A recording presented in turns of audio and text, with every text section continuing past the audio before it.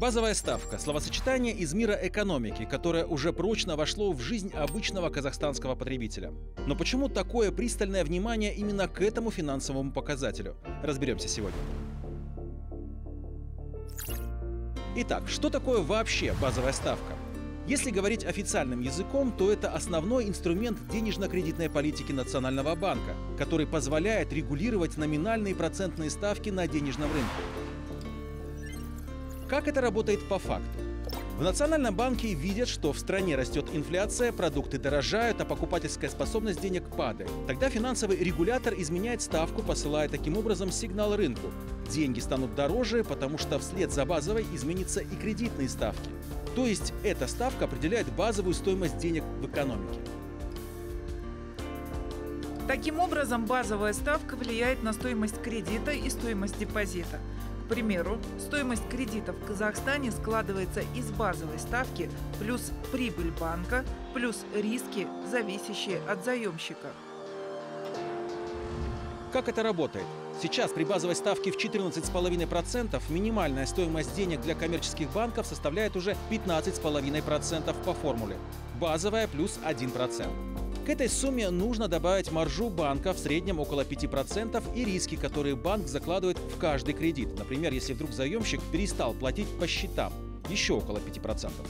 И закон рынка по-казахстански. Чем выше инфляция, тем увереннее Нацбанк поднимает ставки. В этом году это происходило уже четырежды. 24 января финрегулятор поднял ставку с 9,75 до 10,25%. 24 февраля уже до 13,5%, через пару месяцев еще одно повышение на полпроцента. И хочется надеяться, что последнее повышение произошло в конце июля, когда ставка поднялась до 14,5%.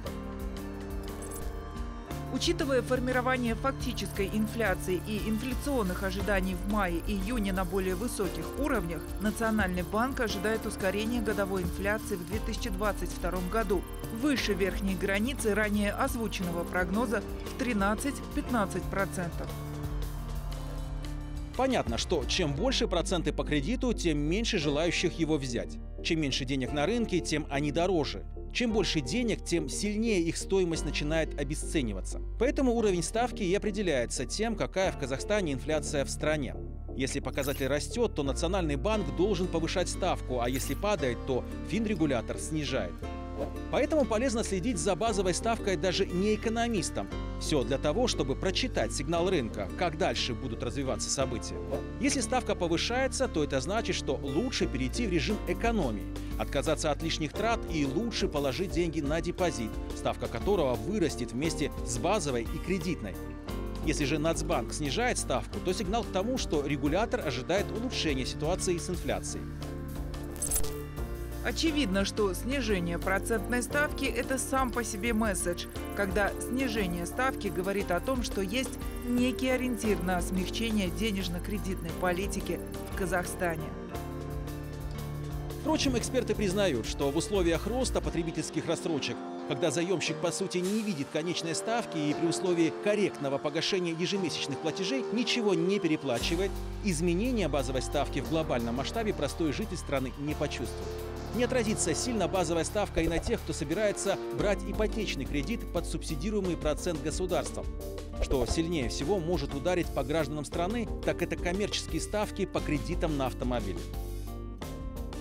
Есть еще один отрицательный эффект резкого снижения ставки – падения процентов по депозитам. Никто не захочет хранить сбережения по ставке, которая не оправдывает даже уровень официальной инфляции. В таком случае сработает закон рынка. Если некуда вкладывать деньги, население будет по сложившейся ранее традиции покупать иностранную валюту. А это путь к повышению долларизации экономики, с которой Нацбанк успешно справляется, и оттоку денег с депозитов. А это уже удар по всей банковской системе Казахстана.